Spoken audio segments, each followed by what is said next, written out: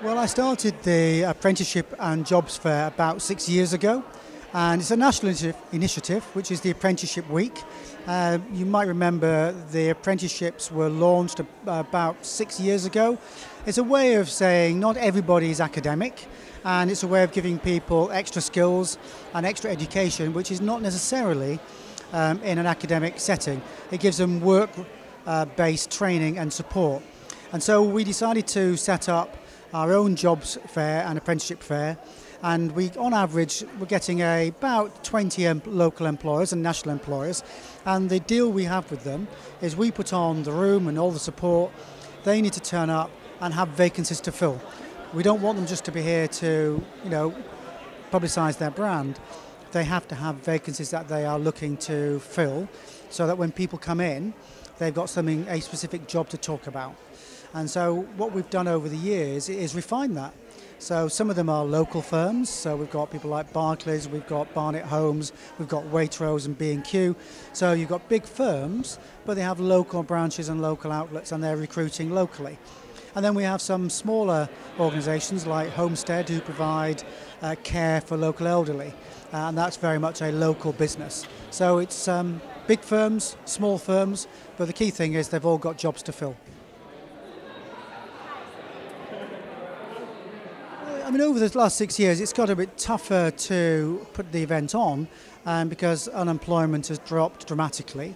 And the employment rate, from memory, just off the top of my head, is about 98.4%. So, you know, in terms of those claiming, is very, very low. Um, so, what we have to do is try and make jobs, um, if like, fit the people are out there looking. So you do find a mixture of maybe graduate entry, people who, who need A levels, some people who need GCSEs, or maybe some people who have simply fallen through the cracks and not got much qualifications. So the importance of doing this is it allows young people to come in, look at something that they might be interested in but never thought of applying for, because they can talk to the employer and say, well, this is me, what do you think? And they say, well, actually, this bit doesn't suit you, but actually, have you thought of this job we've got?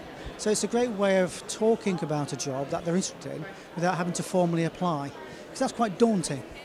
Yeah, no one likes rejection.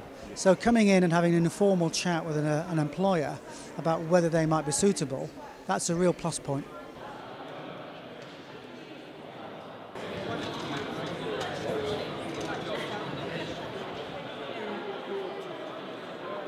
We're um, Barnet Group and we have some employment opportunities today from our care and support services. We have the new um, enablement service which is for home from hospital so we can support people for um, as as many as four visits a day um, up until six, six weeks after they come out of hospital. We also have our personal assistance service, which is another new service within our care and support team, and we provide personal assistance to people with an eligible care needs within the borough, and we look to match people with suitable interests, um, locations, and things like that. So, and it could be as many as two hours a week, or as many as up to 20 or 30 hours a week.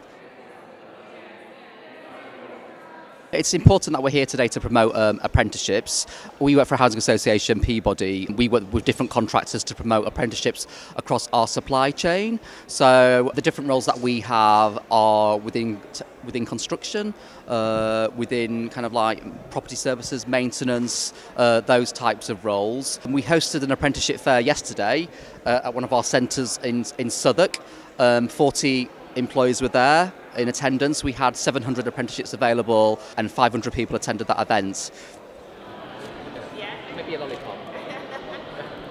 Um, I've been doing apprenticeship for six months now. I'm finding it actually really good. I think I, for me personally, I like getting thrown into different sides of business. I like working in different areas of it, like customer service, counters, um, replan in general, just different areas of the store.